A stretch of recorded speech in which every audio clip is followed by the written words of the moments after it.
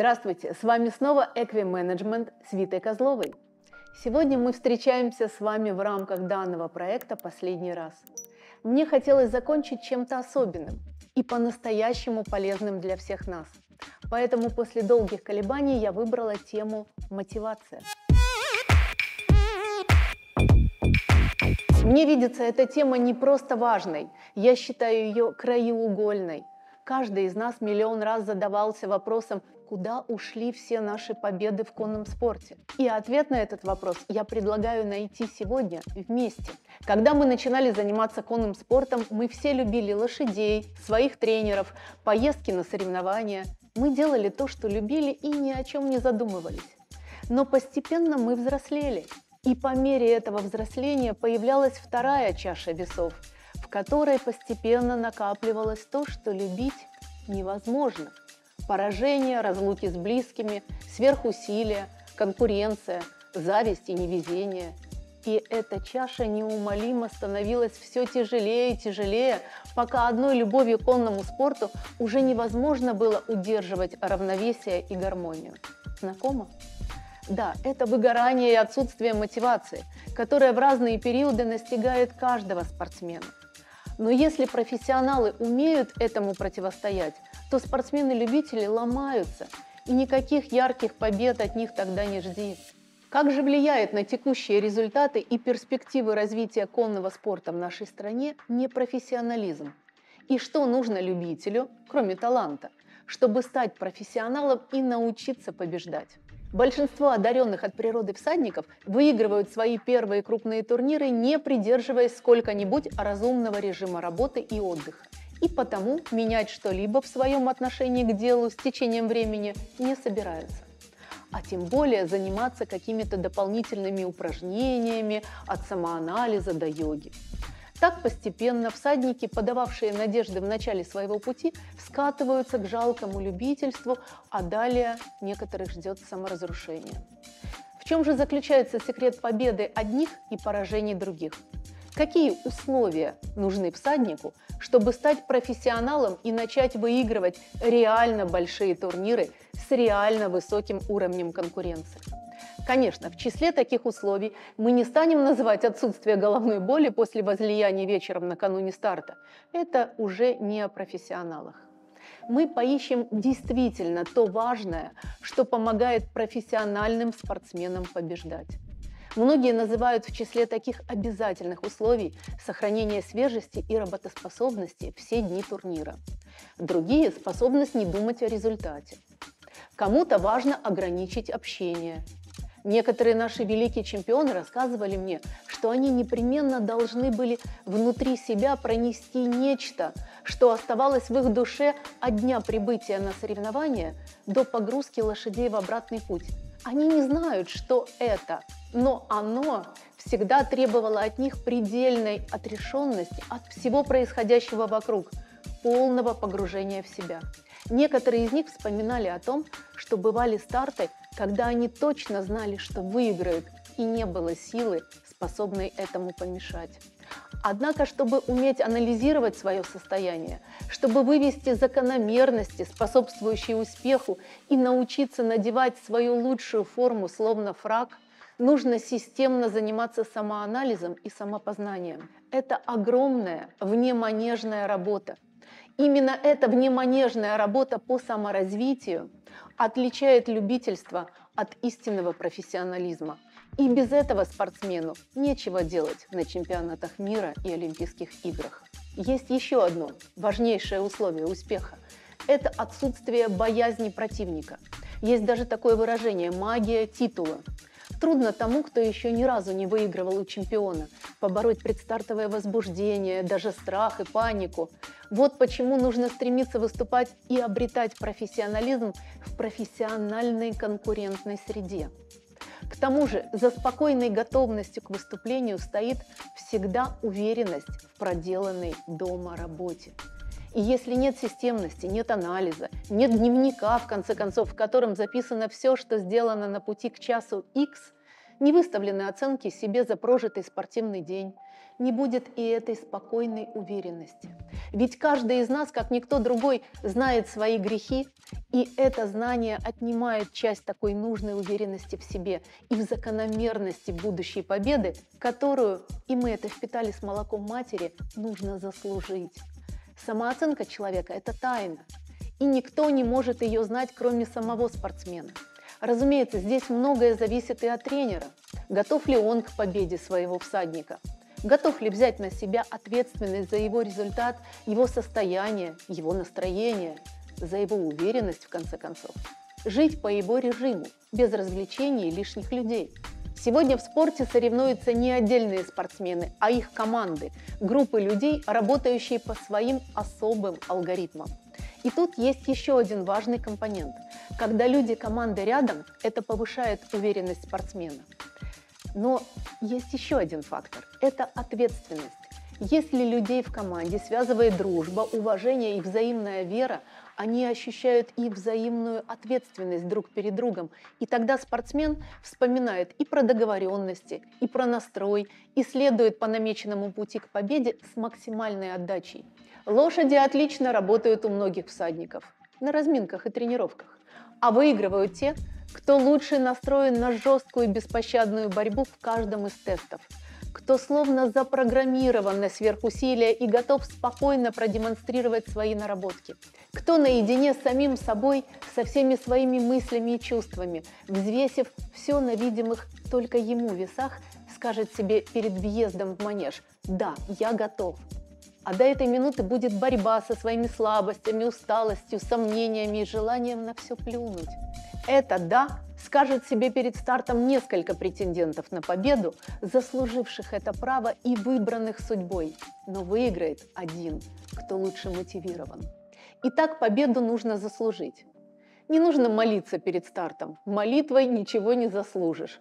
Заслужить можно только, если к делу своей жизни относиться свято. Ведь истинная молитва – это не поход в церковь. Это ежедневная профессиональная работа. Так что же отличает талантливого и даже подающего большие надежды любителя от профессионала? Прежде всего, это тотальное неумение готовиться к старту. Я много лет наблюдала за Карлом Хестером. Как-то Елена Владимировна Петушкова, это было в Хикстеде в 2003 году, сказала мне, указывая на выступавшего тогда без особого блеска Хестера, «Вот он мой эталон всадника. Я скептически улыбнулась. В тот год Хестер был не в лучшей своей форме, но стала присматриваться и заметила одну вещь, которая запала мне в сознание на долгие годы. Профессионалы въезжают в манеж свободными от себя, от своих естественных человеческих сомнений. Это люди, победившие себя раз и навсегда – тысячу раз победившие свои ослабляющие волю привычки, сделавшие тысячу анализов своей манежной тренировочной домашней работы. Да, талантливый любитель может усилием воли разово обеспечить недостающую уверенность в себе и концентрацию. Но если он не превратится в профессионала, он быстро исчерпает запас воли и быстро выгорит дотла. Обычный человек не в состоянии годами выдерживать нервные перегрузки современного спорта, истощается его воля и уже не обеспечивает победы над собой. Иногда это заканчивается очень плохо, срывами, потерей здоровья, дружбой с алкоголем. Часто мы слышим рассказы о прекрасных временах советского спорта. Я отлично помню, как там все было устроено, и уверена, что грустить просто не о чем – ведь сущностью советского спорта было любительство, основанное на жертвенности. В течение многих лет высококвалифицированных спортсменов изматывали определенным образом жизни. Они обязаны были подолгу оставаться на сборах вдали от близких. И эта тоска и внутреннее одиночество для многих становилось хронической болью, оживая в разных ситуациях, перед турнирами с участием сильных соперников или даже прямо во время выступления – и не всем удавалось преодолеть ее. Раньше, еще в юности, активно занимаясь конным спортом, я часто задавала себе вопрос, все эти постоянно имеющие место организационные накладки происходят по причине некомпетентности спортивных чиновников или от их глупости? И лишь позже осознала, что иногда при наличии того и другого у большинства советских чиновников от спорта в основе их отношения к своим обязанностям лежало нечто третье – пренебрежение к спортсмену, отношение к нему как к рабу, над которым у него есть власть и право поощрять его труд и победы за гран-поездками, включением в состав сборной или наказывать, используя широкий ассортимент репрессивных мер от непредставления на почетное звание до отказа в решении жилищных проблем. Зачастую наши великие спортсмены и тренеры выигрывали самые крупные турниры планеты вопреки усилиям спортивных чиновников. Поэтому сегодня стоит направлять наши с вами общие усилия на создание современной модели как эмоциональных, так и финансовых взаимоотношений в реальном формате времени, в формате профессионального спорта. Модели, которая гарантирует сохранение человеческого потенциала и достоинства – они жертвуют людьми во имя славы спорта. Как-то мне попалась отличная реплика отца Наны и Асиляни во время ее матча с Майей Чебурданидзе за мировую шахматную корону. Он сказал, пусть проигрывает и живет как все, у меня одна дочь. Но тогда Нана все же выиграла. Наша с вами самая главная задача сделать конный спорт простым, понятным и зрелищным – а сделать все это простым, понятным и зрелищным и есть самое сложное.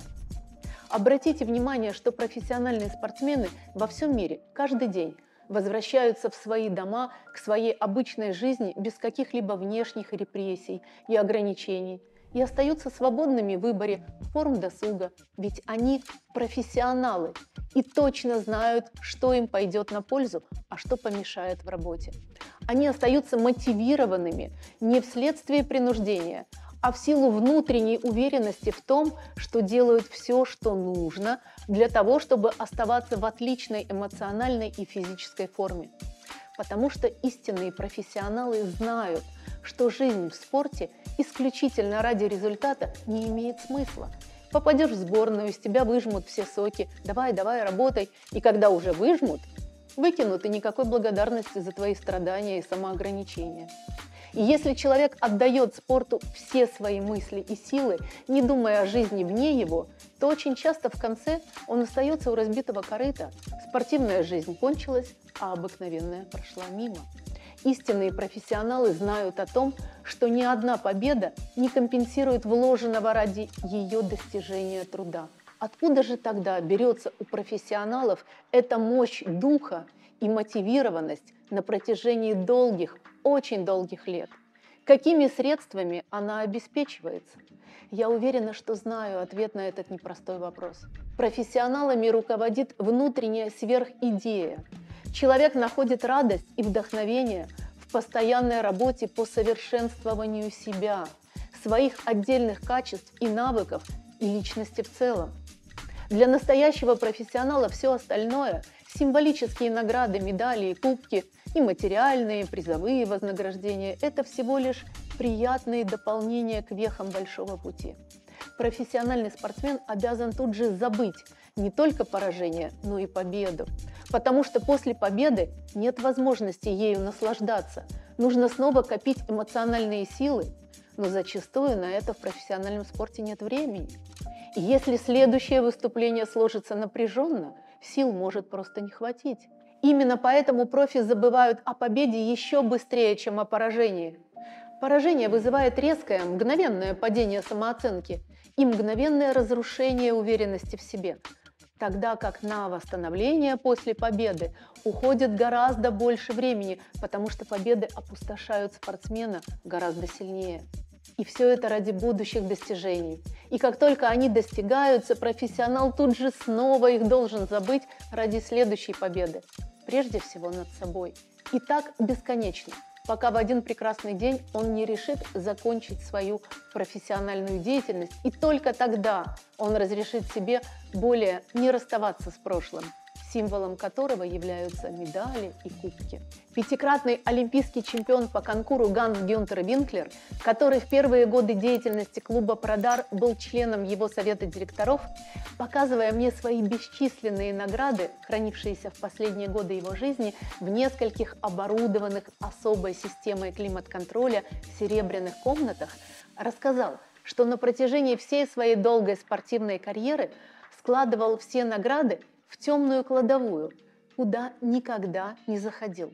и только по завершению своей многолетней соревновательной деятельности оформил для трофеев специальные помещения. А знаменитый конькобежец Киис Веркерк, боявшийся своей праздничной реакции после удачного дня соревнований, делал в медленном темпе до 20 кругов, успокаивая себя и дожидаясь ухода со стадиона своих болельщиков, избегая таким образом поздравлений. И еще пример. На одном из чемпионатов мира по хоккею канадцы вырвали победу у шведов со счетом 6-5, а на другой день еле-еле спасли игру с чехами, после которой была и сказана знаменитая фраза «Мы провели бессонную ночь после победы над шведами и досыпали первые два тайма с чехами». Заслуженный тренер СССР по боксу Николай Ли говорил, если завтра моему выигравшему сегодня боксеру предстоит новый бой – я начну критиковать его еще на ринге, сразу после того, как его руку поднимут в знак победы. Много лет я задавала себе вопрос, что означает концепция «победа человека над самим собой»? Что такое воля спортсмена? В одном случае воля – это способность, в другом – умение, в третьем – управление. Ответ сформулировал олимпийский чемпион Владимир Сальников. Воля – это сила, которая заставляет – это так просто, это гениально. Воля – это энергия, которой наделен в разной степени каждый из нас. Кто-то в большей, кто-то в меньшей. Помните, была такая фигуристка Елена Водорезова. Она выступала, когда не было никаких выгодных финансовых контрактов и модных шоу.